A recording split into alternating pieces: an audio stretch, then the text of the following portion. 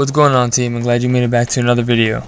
Today I'm going to be showing you 5 of my favorite exercises for achieving and maintaining one of the hardest calisthenics skills there is in the game, the Hefesto.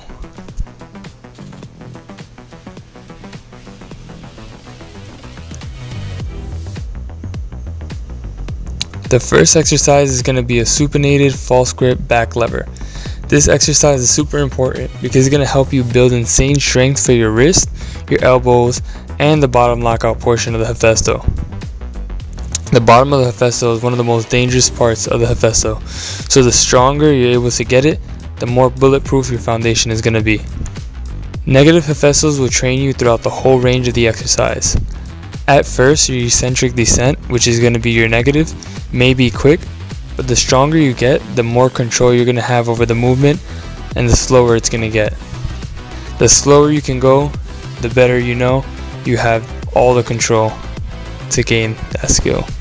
Make sure to use a false grip. It's very easy to slide and not have the false grip, but the stronger you get, the better your false grip will be for the movement.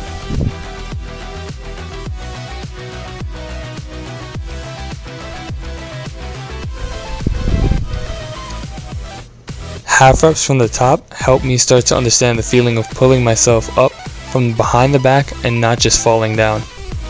Once you start to get this feeling, you're going in the right direction and you know the vessel is not too far from you. Tying that in with all the other exercises we have for this video, and you're going to be getting the Hefesto in no time. Supinated back lever pull-ups help you build that concentric strength from the bottom of the movement. So not only are you allowing yourself to gain strength from the last exercise at the top with your pull, but now once you are able to put them both together with the bottom and the top, you're going to be able to get that Hefesto pretty soon. And last but not least are weighted bicep curls. You can always vary it up, but I like using dumbbells in order to work on any muscular imbalances.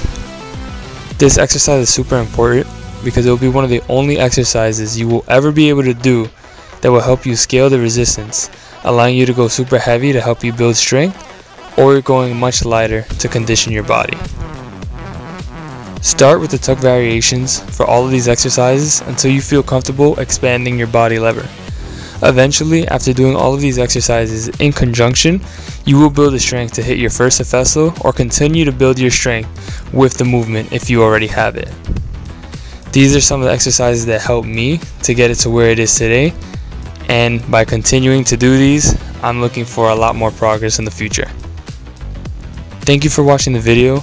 If you enjoyed it, make sure to hit a thumbs up, hit that notification bell so you can be notified for more videos coming in the future, and make sure to share to a friend or share with somebody who you know wants to get this move or share with somebody who you know has never even seen this move. Make sure to squeeze, breathe, and believe through all of these exercises listed above. Definitely going to want to make sure that you're breathing throughout all of these exercises. It's very easy when doing these strength movements to hold your breath, but allow yourself to focus on your breath and really believe in that breath so it can help you get through all the movements. And of course, squeeze those muscles and believe in yourself, and you'll get this in no time. I can't wait to see you in the next one.